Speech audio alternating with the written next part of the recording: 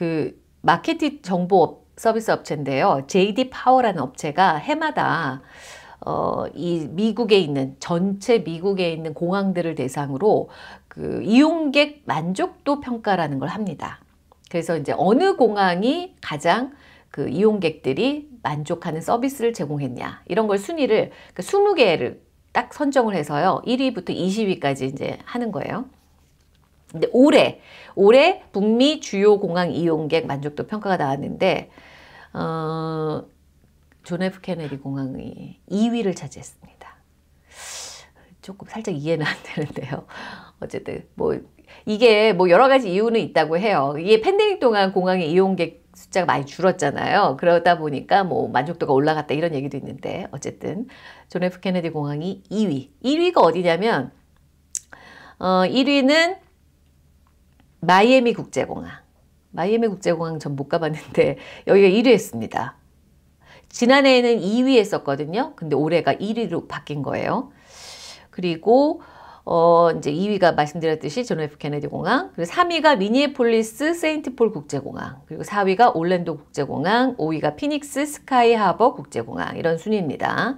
그런데 여기서 이제 또 특이한 거 뉴왁 공항 이거는 뭐냐면 이제 두 가지 부류로 나눠요. 그러니까 mega airport 그 다음에 large airport 이렇게 해가지고 그러니까 이 존 F 케네디는 뉴, 뉴왁 공항 같은 건 메가 그러니까 초대형 공항으로 들어가는 거예요. 그러니까 초대형 공항은 연간 이용객 수가 3,300만 명 이상일 경우 그다음에 그냥 large 공항 그러니까 대형 공항은 1,000만에서 3,290만 명 사이 그래서 두 가지 부류로 나누고 각각에서 20개의 공항이 올라가는 거죠.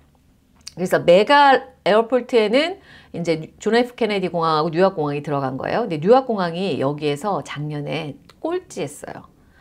뉴왁 공항 이용해 보신 분들은 다 아실 거예요. 그래서 그 이후로 뉴왁 공항이 그 공항의 여러 가지 시스템을 개선하기 위해서 많은 노력들을 했죠. 그래서 올해는요, 무려 16위, 4개 계단이나 올라갔습니다. 대단하죠? 그래서 어쨌든 꼴찌는 면했다는 거. 그리고 심지어 16위를 했다는 거.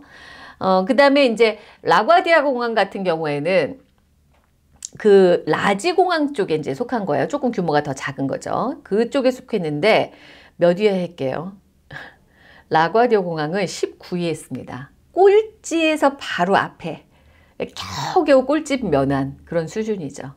뭐 라과디아 공항은 사실 근데 지금 계속해서 공사 중이잖아요. 이제 뭐 좀 개선하기 위해서 그렇기 때문에 이제 공사 중에 여러 가지 불편한 점들도 있었을 거고 그런 것들 한데 이제 공사가 끝나고 거기가 굉장히 지금 가끔 이렇게 지나가다 보면은 어 많이 멋있어졌어요. 예전 같지가 않아요. 예전에 정말 동네 공항 같다는 생각이 들었는데 지금은 굉장히 좋아졌는데 앞으로 이제 그 공사가 완료되면 더 좋아지겠죠. 그러면 라과디아 공항 같은 경우도 굉장히 순위가 올라가지 않을까라는 생각이 듭니다. 음, 지금 그 JD 파워 이거를 평가한 그 업체가 뭐라 그랬냐면 북미 지역의 주간 항공 이용객 규모가 코로나19 팬데믹 이전 수준의 75%까지는 회복이 됐다. 공항의 식음료, 소매 서비스는 지속적인 인력 부족 현상으로 극히 제한되어 있는 상황이다. 이런 얘기죠. 그래서 지난해 코로나19 팬데믹으로 항공 여행객 수가 급격히 줄면서 상대적으로 이용객들의 만족도는 사상 최고치를 기록했다는 거죠. 사람이 없으니까. 모든 게 빨리빨리 되잖아요. 뭐 줄을 길게 쓸 필요도 없고 뭐 이러니까 막 이제 만족도가 높아졌다는 거죠. 근데 올해 봄하고 여름에 이제 레저 목적의 항공 여행 수요가 반등하면서 만족도가 다시 지금 하락하고 있다는 겁니다. 어, 이거를 평가하는 기준은요. 공항 터미널 시설, 그리고 도착 및 출발, 수화물 취급, 보안 검색, 탑승 수속 절차, 식음료, 소매 서비스 등 6개 항목을 기준으로 이용객 만족도를 그렇게 이제 평가를 한다라고 밝혔습니다. 이게 무려 16년 동안 이어져 오고 있는 거라 해마다 여기에 대해서 좀 민감하죠. 그래서 이번 조사의 경우는 작년 8월부터 지난 7월까지 한 1년 동안 한 거고요. 응답일 기준 30일 이내에 최소 한 차례 이상 북미 공항에서 출발 및 도착을 모두 경험한 미국과 캐나다 주민 13,225명을 대상으로 설문조사를 실시했다고 합니다. 그래서 이렇게 뉴욕의 공항들이 성적이 나쁘진 않아요. 존 F 케네디 2위 했으니까. 그쵸? 근데 이제 우리가 인천공항을 경험해 본 사람들로서 존 F 케네디 공항이 그렇게까지 좋은 느낌은 아니다. 그런데 이제 미국에 있는 공항들 중에서는 2위를 했다라는 소식 전해드렸습니다.